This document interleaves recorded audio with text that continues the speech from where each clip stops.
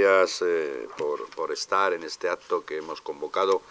a todas las escuelas eh, infantiles públicas de, la ciudad, eh, a las cuales, no cabe la menor duda, quiero agradecerles la estrecha colaboración con el Ayuntamiento de, de Fuenlabrada en algo tan importante para nosotros, para el equipo de gobierno que presido, que es la educación de la etapa de 0-3 en ese sentido, pues la colaboración que está habiendo es, yo creo, reconocida por muchas familias de nuestra ciudad que hacen uso de las escuelas eh, infantiles. Y por otra parte, quiero poner en valor, eh, en este caso, pues eh, el esfuerzo que viene realizando a lo largo de los últimos años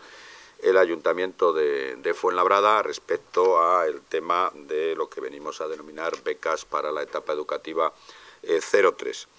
Eh, esto, como bien es conocido por parte de todos los medios de comunicación, por parte también de las directoras de las escuelas infantiles y, por supuesto, también por parte de la opinión pública, pues nos, nos convierte en el primer ayuntamiento de España por el número de habitantes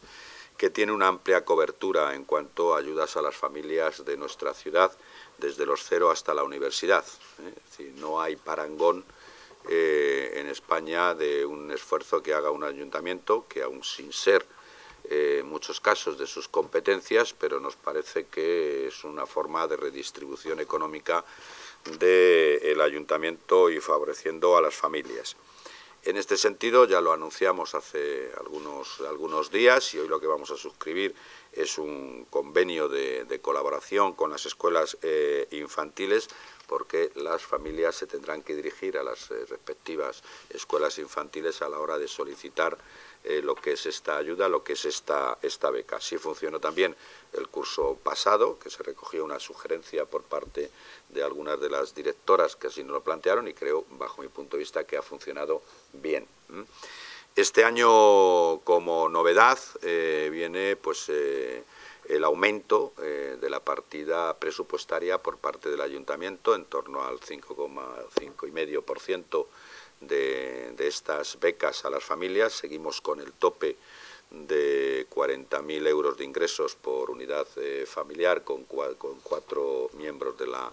de, dicha, de dicha familia. Por lo tanto, también ese es un valor añadido importante, dado que otras administraciones el corte que hacen eh, de, las becas o de las ayudas pues es eh, infinitamente inferior a lo que el Ayuntamiento de Fuenlabrada eh, en ese sentido, ese incremento pues, va a representar que a muchas familias de Fuenlabrada se le dé en torno a 95 euros, anteriormente hasta 95 euros, quiero prefijarlo de hasta, porque va también por el número, o sea, por los ingresos familiares, es decir, a más ingresos menos ayuda, a menos ingresos más eh, ayudas y en ese sentido pues está hasta los 95 euros. La cantidad que destina el ayuntamiento son 375.000 euros eh, para el próximo, para este curso 2017-2018 y la media que va a recibir la familia pues estará hasta 855 euros. Este es un esfuerzo que se debe fundamentalmente a, dos parámetros. Un parámetro es la economía saneada de este ayuntamiento, que nos hace ser uno de los ayuntamientos más saneados económicamente de las grandes ciudades españolas, y en segundo lugar la apuesta eh, firme y decidida por parte del equipo de gobierno en eh, materia educativa, a lo cual le podríamos sumar no solamente las políticas de becas, sino también otro tipo de itinerarios de ayudas a, eh, los centros educativos eh, públicos de nuestra ciudad.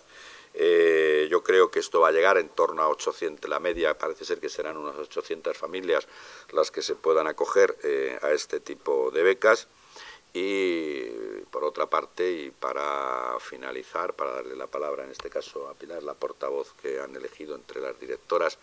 en ese sentido, pues también quería destacar eh, el trabajo que se viene realizando desde la Concejalía de Educación, a la cabeza del concejal Isidro Ortega y el resto eh, del equipo, eh, porque en una ciudad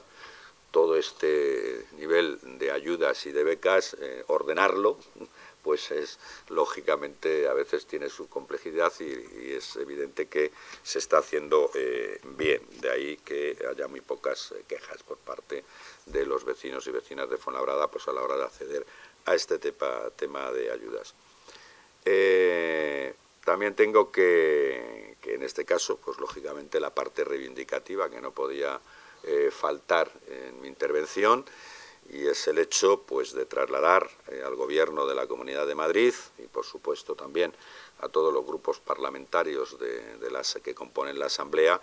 que no tiene sentido que no haya unas becas mucho más eh, amplias en, cuanto a las escuelas infantiles públicas y se siga destinando